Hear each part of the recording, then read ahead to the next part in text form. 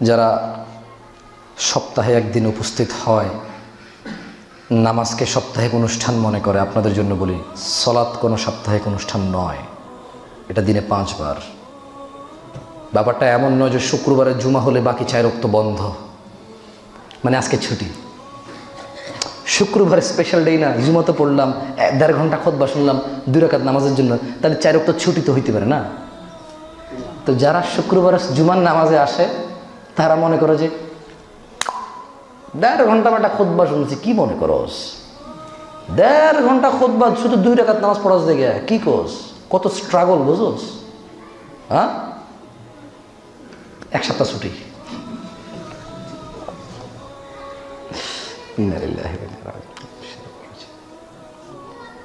কি, আপনাকে রাগ করতেছেন? দাঁড়ায় আছেন, কষ্ট হচ্ছে? যারা শুধু জুমার নামাজ পড়ে, তারা নিজেদেরকে নিজেরা ছুটি দিয়ে দেয়। তাদের একটা হাজিরা খাতা আছে মনে হয়। এটা বাসা সংরক্ষণ করা।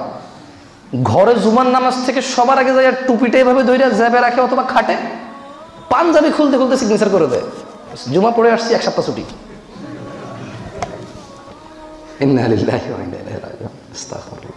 দেখুন ভাই, এই পৃথিবীতে একটাই আমল আছে সলাহ। যার কোনো ছুটি?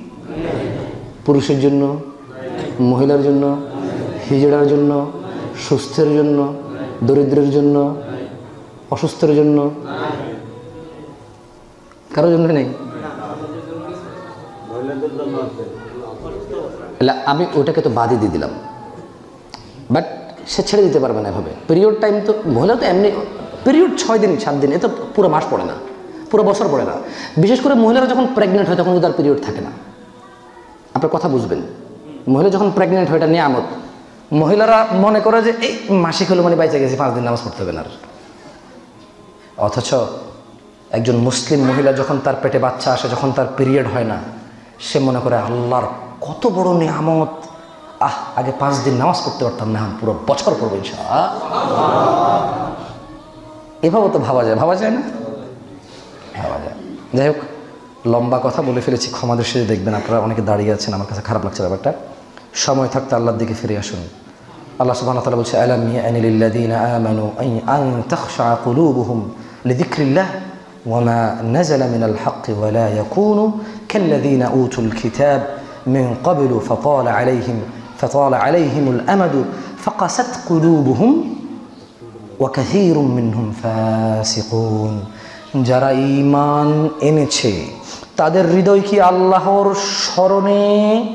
এবং যা সত্য নাজিল হয়েছে কোরআনুল খেরিম এগুলোর জন্য কি কোমল বিগলিত হওয়ার সময় আসেনি?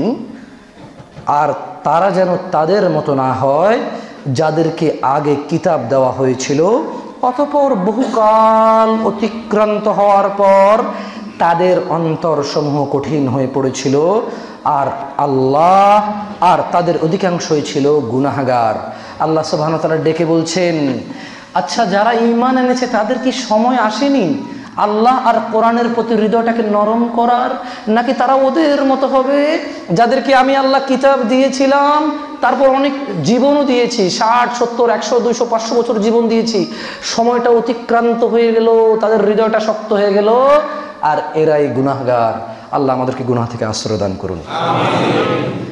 আজকের খোদবার চেষ্টা করেছি আপনাদেরকে বলার আকারে, ইঙ্গিতে, সুন্দর করে। অনেকে আছেন তাবিজ দেন, আল্লাহ ব্যতীত অন্যের কাছে গিয়ে সহযোগিতা চান। এখন সহযোগিতা চাওয়ার অনেকগুলো মাধ্যম আছে। অনেকে ডেরেক্ট সিজদা করে, অনেকে সিজদা করে না, সাইকেল থেকে নেমে যায়। অনেকে দুই দুই চার দশ টাকা দেয়। অনেকে নিয়ত, মানত করে, নজর, নেয়াজ করে। অনেকভাবে হয়, সিন্নি দেয়, পিন্নি দেয়, মুরগি দেয়। তো এগুলো সবই কিন্তু সেম এগুলো সব কি? তো আপনাদের একটা আপত্তি আছে যে ওনারা খালি শিরিক শিরিক করে, বিদাত বিদাত করে, সুন্দর করে বলে না, দরদ দিয়ে বলে না।